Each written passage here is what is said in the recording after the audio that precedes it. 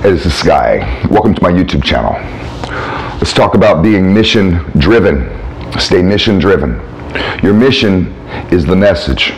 Your mission is righteousness, not money, not status. Your mission is not fans.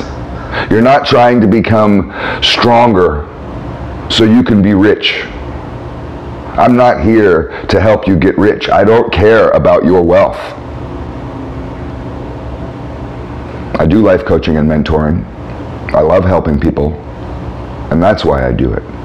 I've gotten to a certain strength, a certain level of the game, and I feel obligated to share my expertise.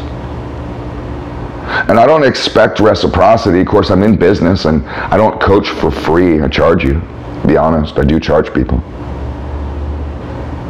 But it's really just a way to charge people for my time. It's not a way to get rich off of people. The reciprocity that I get is not from your paycheck, it's not from your money, it's from God.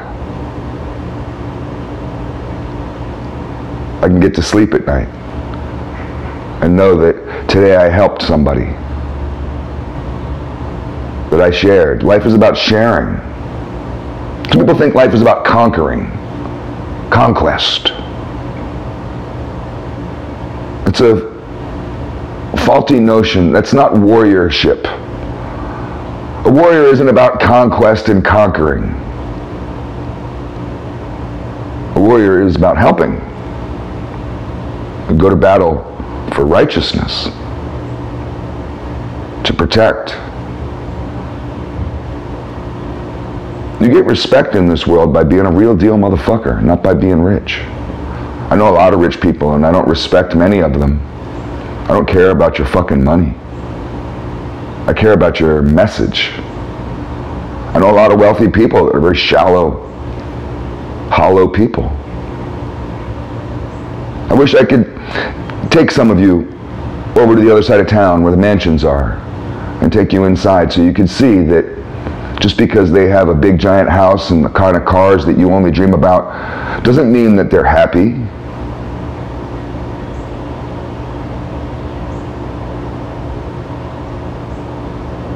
My personal opinion is that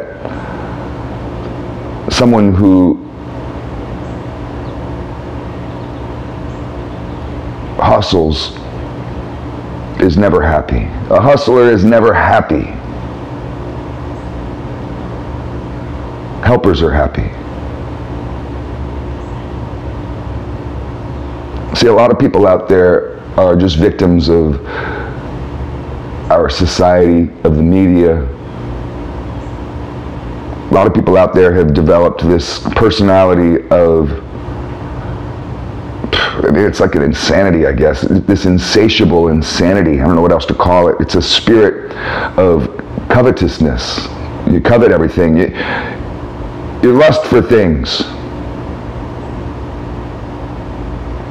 And people who do that never get enough. That's why they have 30, 40, 50 cars. You say, well, I just love cars. Shut up. You're a fucking drug addict. You're addicted to money. You're addicted to status.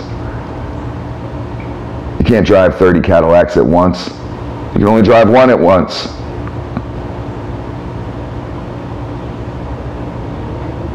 These type of people, they, they never get enough. It's never enough.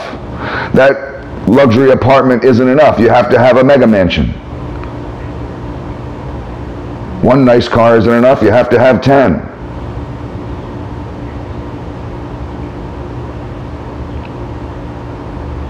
For all you people out there that are just regular working stiffs like me, I'm promising you right here, I'm telling you right here, this is truth. You're not missing out on anything. Be the best version of yourself, but that doesn't mean you have to strive to be someone else. Be happy to be you and where you are. Life isn't about money and mansions. It's about the message and your mission mission of righteousness, of providing and protecting for your family. That's what manhood is about. Manhood isn't about status. Some guy with a big fat cigar and a big house. That, that's not manhood.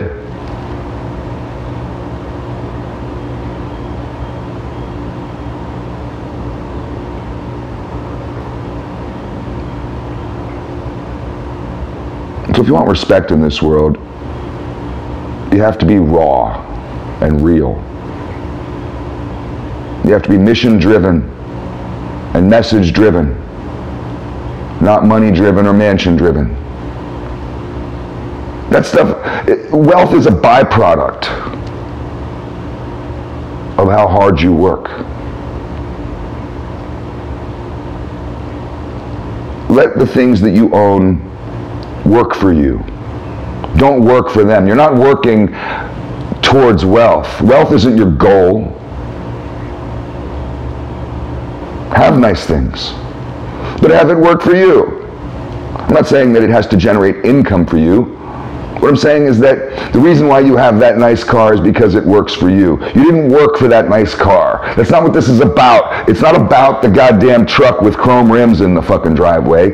It's about the message and the mission.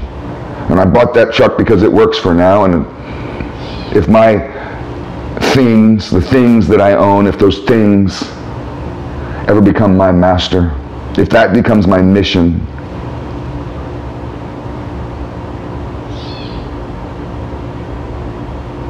then I've lost respect for myself. The Lord loses respect for you when you chase money. Don't work for things, let things work for you. And as soon as the things become your master, you must drop those things. Anything that rules you, that you feel like that you're working for a thing, get rid of that thing. Throw it away. I don't know. Some people get it, some people don't.